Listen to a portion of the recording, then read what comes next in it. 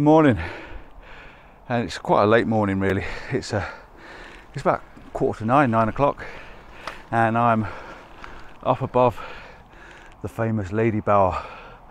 The water level is extremely, extremely low, and I come here because I want to make my way up to the salt cellar because the heather's out. It's heather season.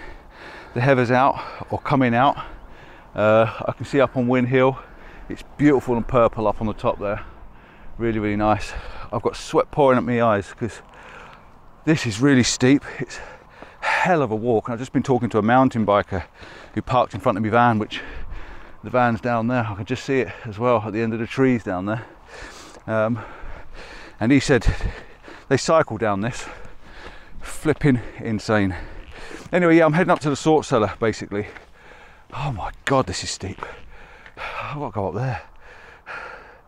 Yeah, I'm heading down to the salt cellar, and uh, the idea is to to hopefully get some pictures for the salt cellar and some heather. The sun's out, there is some cloud. I don't know what the weather's going to do. It's nice at the moment, but too nice. I'm sweating. So I'm not going to do a lot of talking. I'm going to make my way up there, and when I get up to the salt cellar, I'll check in, unless I see something really nice and interesting with the heather before, and uh, stop and get you out then. See you in a bit. Here we go.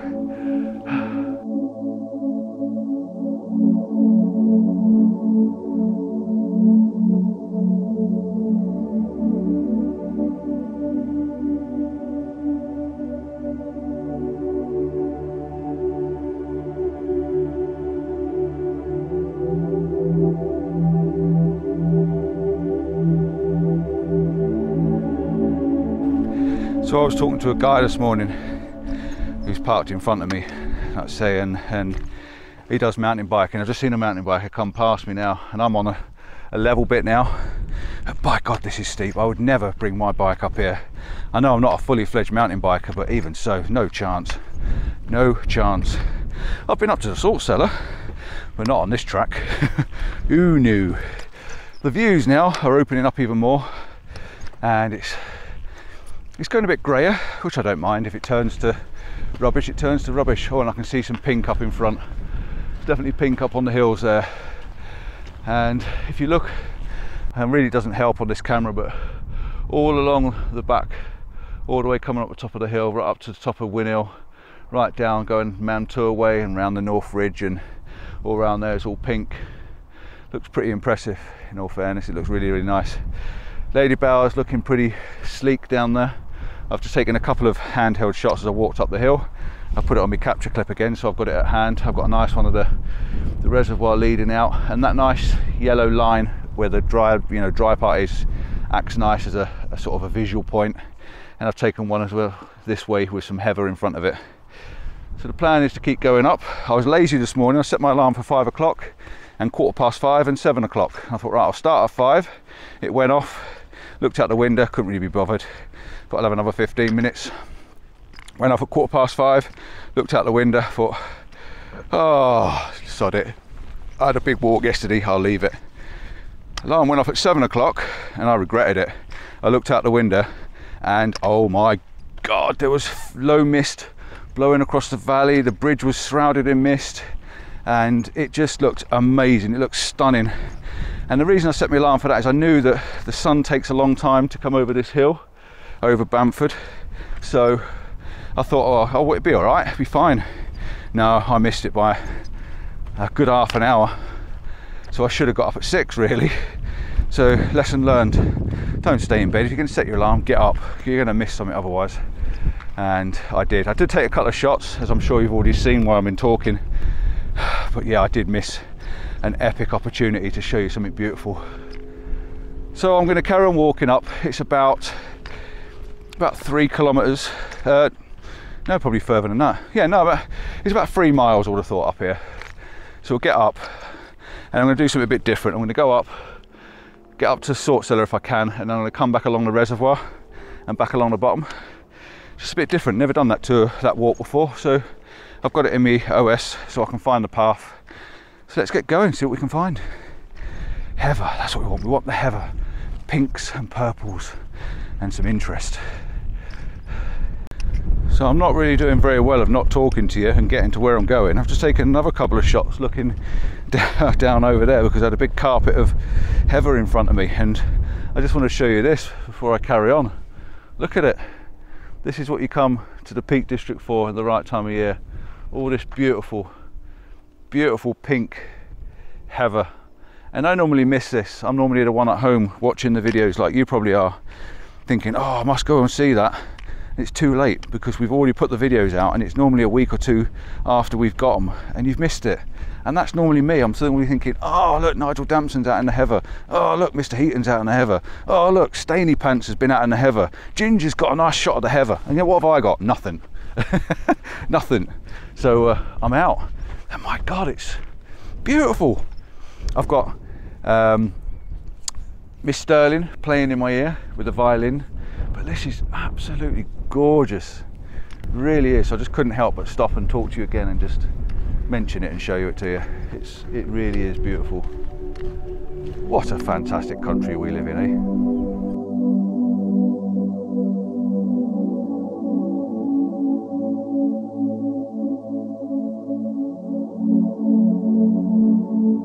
eh? Yes yes yes I'm back again. Couldn't resist getting a picture down here Again, the beauty is I've got it on my belt and I can see it. So I'm going to spin you around and just explain roughly what I was doing. Um, what I wanted, I'm just going to zoom in a little bit. So I've taken something similar to this. So I've got this nice little S of a, an image coming through. So you've got this nice beautiful line of the heather, which I lined up with this bottom corner coming through. It goes through the bridge, under the bridge, back up there. And then it may even follow your eye all the way back up to the top of Winnet, uh, uh, Win Hill, sorry and you just well, the light was on this just now so you've got all these beautiful pinks in the bottom. You've got the nice deep rich color of the water quite deep blue because I've got a polarizer on and you've got these beautiful fluffy clouds and all this was in light as well. So you've got all these beautiful pinks up the top. You see the lights just come out now down the bottom. Absolutely fantastic image with some beautiful focal point just on the bridge because your eye cannot help but look at the arches in the bridge. Absolutely stunning shot. So expect that one to probably be in my calendar next year. And talking of calendars, talking of calendars, my 2023 calendar out is out. It is on pre-order. Uh, go onto the website, Paul Compton PD Photography forward slash store or just go onto the website you can either drop me a line and pay and buy one direct to me which I would prefer or you can go through the PayPal link and of course then I have to pay my fees to PayPal which is fair enough because you know they are doing a job um, but yeah, the more I can actually make, the more I could do next year. Um, but yeah, stunning. What a oh, this is a beautiful walk this morning. Really enjoying it, taking my time. I am on my own, but I've got some music. Lindsey's, you know, Lindsey Stirling's there in the background playing her violin, and I can't believe that I've got into listening to violin, which is so good because she does heavy rhythm stuff that I like, futuristic fantasy sort of stuff, and she also does some nice soft stuff which means I can just mellow a little bit. And I'm not thinking bad thoughts when I've got that stuff in my ears. And it really does help.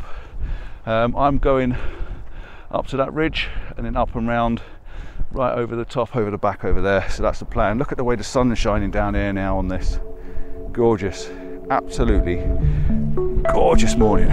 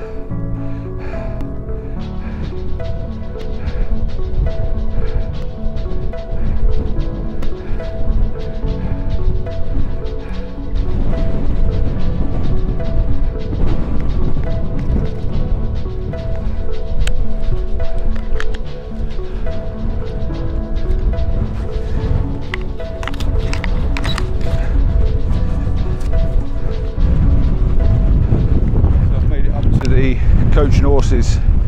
This is uh, this big rock formation is known as the Coach and Horses. I'm about, I'm not far off of, I don't know, nearly halfway.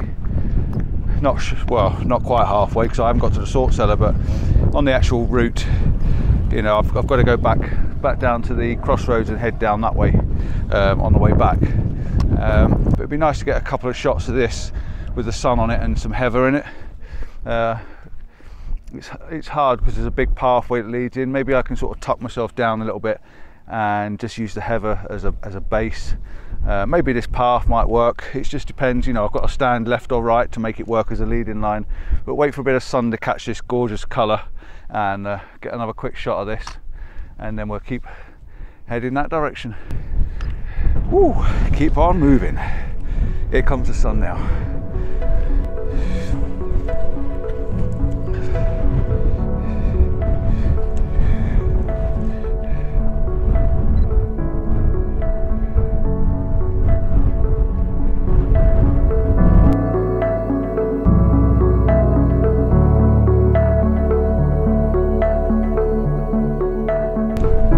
My hints and tips and my worldly goods I can give to you.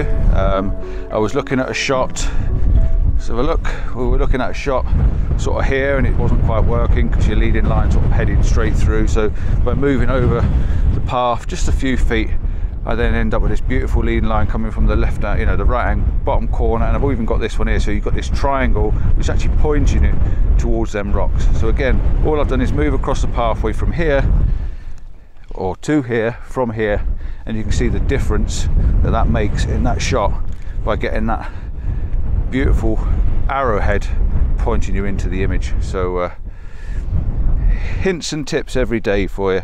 Always hints and tips. There's always a few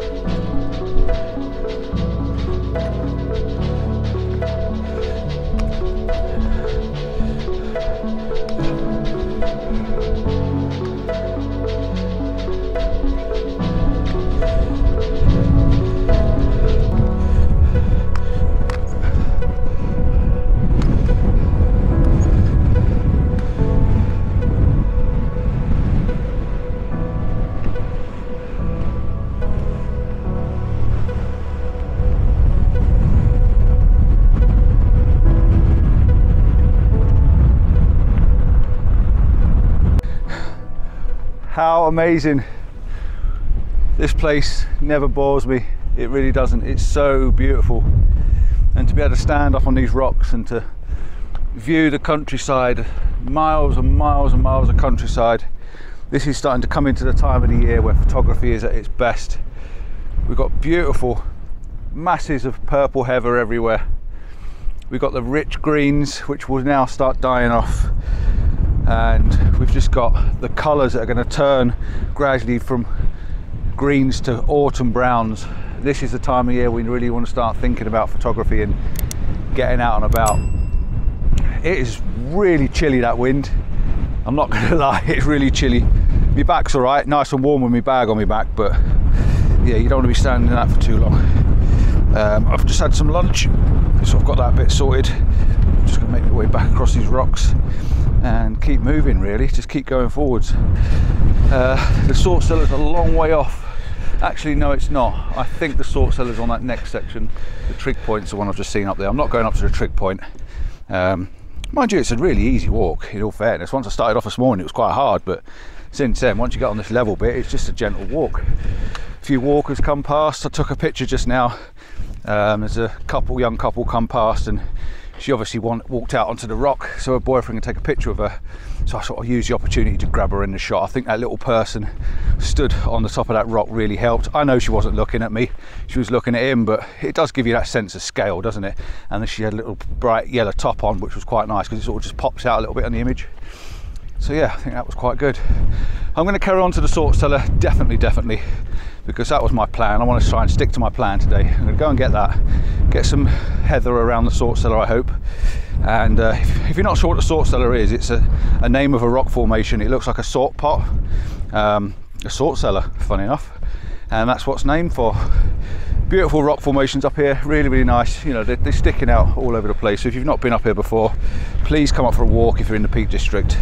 Um, if you Google the coach and horses in the Peak District or the Salt Cellar, it will be on Google Maps. You can find it, and there's loads of paths that lead up here. And I'm going to go back down on a different path that I've never been to before, so I'll show you a little bit of that as well.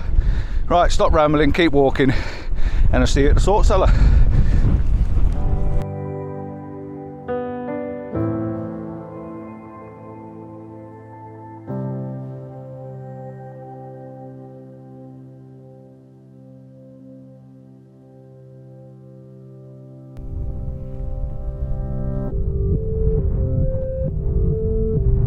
One side on the thirds and I want you to let me know which one you prefer best.